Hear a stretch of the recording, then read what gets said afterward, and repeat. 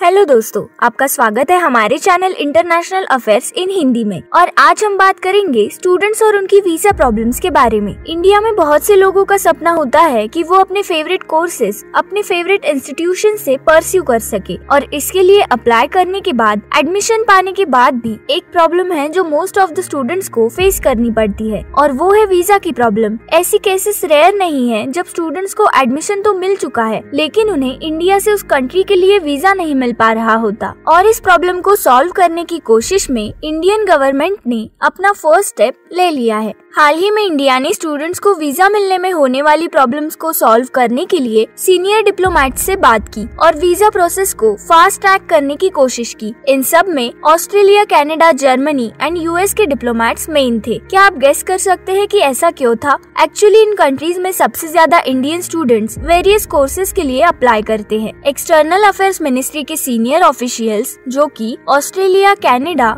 Check Republic New Zealand Poland Germany UK यानी कि United Kingdom और यूएस से डील कर रहे हैं। उनके बीच कंस्ट्रक्टिव डिस्कशंस हुए। ये discussions streamlining student visa to Indian nationals के बारे में थे। ऐसा एक्सटर्नल अफेयर्स मिनिस्ट्री के स्पोक पर्सन अरिंदम बागची ने अपने ट्वीट में कहा। अपने दूसरे ट्वीट में उन्होंने कहा है कि डिप्लोमेट्स ने अग्री किया है कि वीज़ा प्रोसेस को और इजी और फास्ट ट्रैक बनाने की कोशिश में वो लगे रहेंगे, क्योंकि स्टूडेंट्स का ये फ्लो म्यूचुअली बेनिफिशियल रहा। रहा है। अब ये सवाल उठता है कि ऐसा क्या था कि मिनिस्ट्री को खुद इस मैटर में इन्वॉल्व होना पड़ा। तो दरअसल बहुत से स्टूडेंट्स की कंप्लेंट्स जा रही थी, जो वीज़ा चाहते थे। अब क्योंकि कोविड 19 की रेस्ट्रिक्शंस धीरे धीरे सभी कंट्रीज़ में कम होने लगी है, और वो दूसरी कंट्रीज़ के स्टूडेंट्स को भी आना अलाउ करने लगे है। इसीलिए ये वीज़ा या तो उन्हें वापस किसी कंट्री में जाना था, जहाँ वो पहले से किसी इंस्टीट्यूट से कोर्स परस्यू कर रहे थे। इसलिए चाहिए था, या फिर कुछ ऐसे स्टूडेंट्स भी थे, जिन्होंने नए कोर्सेज में एडमिशन लिया किया था